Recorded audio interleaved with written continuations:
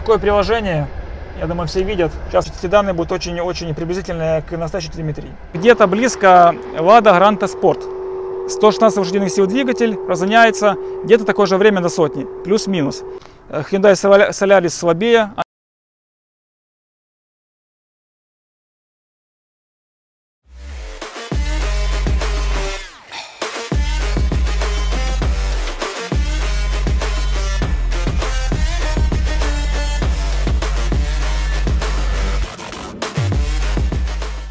Всем привет! Сегодня у нас будет Нива, и сейчас я хочу подвести уже, скажем так, какой-то итог по ней, потому что автомобиль уже практически весь э, законченный, как проект имеется в виду. И сейчас я буду делать замер ее э, на 402 метра и также от нуля до сотни. Значит, делать будем замер в двух режимах. Первый режим это OFF, второй режим это 1 бар. OFF у меня 0,4. Хотел показать, что э, я буду делать свои режимы путем э, замены трубок. Так как у меня э, кнопка, вот сейчас э, кнопка, она не, под, не подключена, но в этом э, положении это у меня идет off режим. В таком положении это у меня уже один бар идет. В общем, пока она не подключена, э, я буду делать, я покажу, как это делается. В данный момент у меня надета на, на турбине с клапана напрямую шланочка. Видео вы видите на экране. Значит, сейчас э, мы едем, делаем замер. И также я хотел еще добавить, что после замены сцепления у меня автомобиль стал э, намного э, стабильнее, лучше ехать, в том плане, что я уже перестал замечать э, просадку по надуву. В общем, это объясняется очень просто. Я разговаривал с человеком грамотным в этом плане, он сказал, что даже на многих машинах, которые замеряются на, на стендах по мощности, их специально грузят мешками с песком, ось загружают, чтобы они не уходили в букс. Таким образом, под нагрузкой турбина как бы ну, лучше дует. Что такое? В общем, поэтому получается, у меня при буксе сцепления Соответственно, четвертая передача просаживалась э, надув, в основном только из-за того, что падала нагрузка на двигатель. То есть буксовало сцепление, надув падал. Сейчас этого ничего нету, поэтому у меня будет один бар. Этот бар будет идти от начала и до конца. Ну что ж, поехали на трассу. Сейчас мы приехали на нашу дорогу на трассе. Вот такое приложение. Я думаю, все видят. Сейчас я коннектюсь и буду типа замерять. Это приложение, точнее не само приложение, это сам прибор довольно-таки точный по телеметрии, если брать. Э, поэтому, скажем так, эти данные, сейчас на спутнике ищет, эти данные будут очень-очень приблизительные к настоящей телеметрии.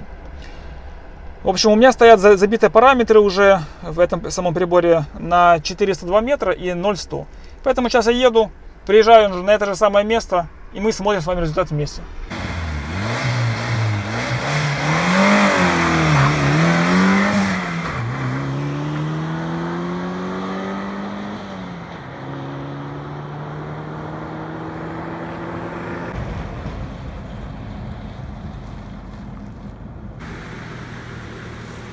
Вот уже замер, как вы все видели, 0,4 бара. А, получилось 16,81, это у меня 402 метра. И 9,89 разгон до сотни. Э, я посмотрел, какие же машины разгоняются где-то до сотни в такое же самое время. А, получается, что где-то близко Lada Granta Sport. 116 лошадиных сил двигатель разгоняется где-то такое же время до сотни, плюс-минус. Немножко быстрее будет э, Lada Kalina NFR и где-то рядом еще Volkswagen Polo 1.4 Turbo. Э, Hyundai Solaris слабее, она с 10 не выезжает. И где-то там, в принципе, вот это результаты. Больше я не брал сравнения, потому что список может быть очень большой. Теперь э, я покажу, конечно же. Сейчас э, мы переставляем наш, э, скажем так, механический boost -контроллер.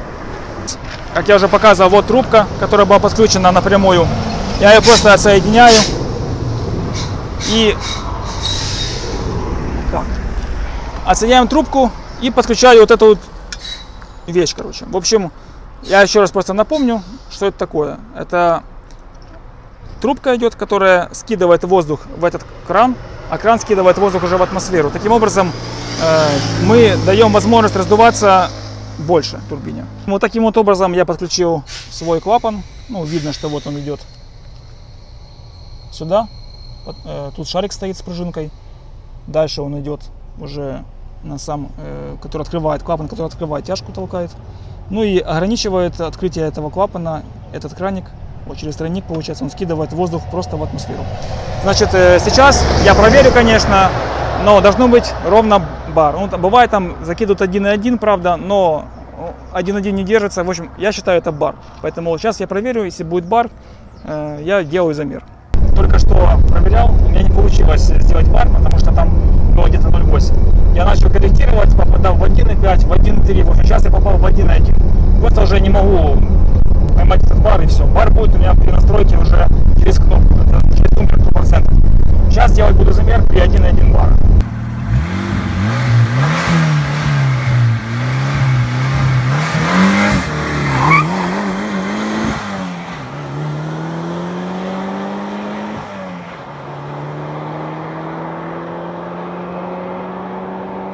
И вот мы проехали второй раз, уже был э, замер на 1,1 бара. Получился такой результат. Ну, как вы видели, я э, на видео, может быть, оно кажется, что было грубовато, но я старался сцепление отпускать при старте не сразу, а чтобы не, не было толчка по нему. То есть немножко придерживал сцепление и давал ему плавный ход. Э, в общем, лаунча также у меня лаунча нету. Э, соответственно, максимальный результат этой машины был бы чуть-чуть бы лучше. Но даже то, что есть, э, что я сейчас скажу, э, мне тоже очень, очень подходит. В общем, при 1,1 бара избытка 402 метра получилось 15,82. Разгон с нуля до сотни вышло 8,28. Я также полазил, посмотрел, какие машины едут э, до сотни такое же время. Э, получилось, что Nissan Murano 3.5 автомат едет э, до сотни 8,2 секунды. Э, допустим, э, Opel Astra Turbo э, 1.6 едет до сотни 7,9, чуть быстрее. Ну, больше я опять же не смотрел. То есть для примера я взял Nissan Murano кроссовер э, большой. Э, кстати, считается, что она очень неплохо едет. Вот, ну, как другие, кто на них ездит, по крайней мере. Вот, ну и, собственно говоря, теперь мы знаем, как едет э, эта Нива. Э, в принципе, э, не зная времени, я считал, что она вообще классно едет. Теперь я узнал время, я понимаю, что это слабее, чем моя восьмерка, даже при самых плохих вариантах, как, как, когда я не включаю передачу и так далее. Но тем не менее, э, Нива, она стабильная, она при этом маленькой, маленькой турбине показывает, как- какой и должен быть результат. В принципе, эти Нивы быстрее не ездят. А также хотел еще добавить, что в будущем мне предстоит э, менять передние кулаки.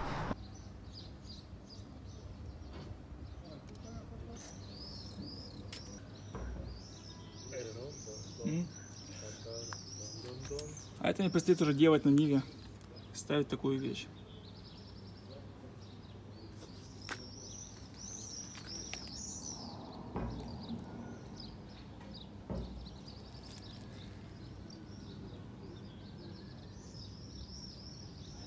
Это будет отдельное видео. Я покажу и расскажу, какие были там нюансы. Но мне достались кулаки в сборе. Я думал, что буду собирать их по отдельности, но они достались мне в сборе. Поэтому мне немножко будет с этим проще. Ну а так, я считаю, что автомобиль уже как проект, э, с ним уже де- ничего делаться не будет. Ездить она будет в основном 0,4 бара. Э, И как, как вы видели, при 0,4 бара она выезжает с 10 секунд до сотни. А на этом я со всеми прощаюсь. Всем удачи и пока. Заехали к Тёмычу в гости, да, Тёмыч? Это там Да спрятался. я здесь, за, за камышами. Привет. Да, да, да. И вот опять мы кота достали из-под капота. Некоторые убежали, но остался. Маленькая мордашка. Малыш, Да, вот что вы там делаете, а? А ну, что, боитесь воды, да? Я с утра пришел, их тут 4 вообще сидело. Ну и сейчас вот смотри, он там, вот, там возле генератора смотри.